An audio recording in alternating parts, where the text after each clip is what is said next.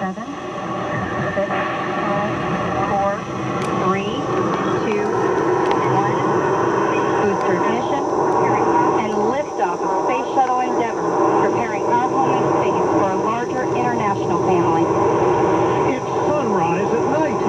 Space Shuttle lights up the sky. Shorebirds wheel and fly.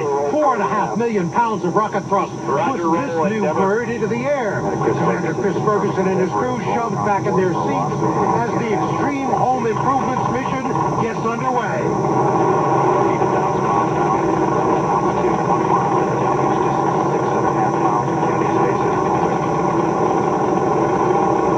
Space Shuttle Endeavour climbing straight up into the night sky here in Florida, on top of a pillar of white smoke and flame, everything going well. Endeavour rolls upside down as planned. The crew gets to look out the windows at the ocean below as the shuttle slowly at first and then faster and faster tears out of here. It goes from zero to a thousand miles an hour in the first minute.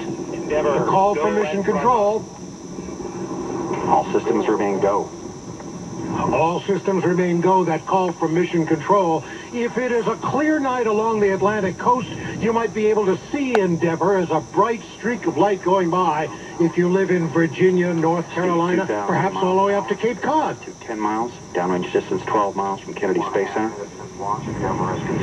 Everything going well so far. Crew members describe the 15-day mission as jam-packed with four spacewalks. A huge amount of interior renovation of the space station is planned. Twin solid rocket boosters will be burning out momentarily. They'll fall away. The space shuttle's three main engines keep on burning to push the rocket up toward orbit.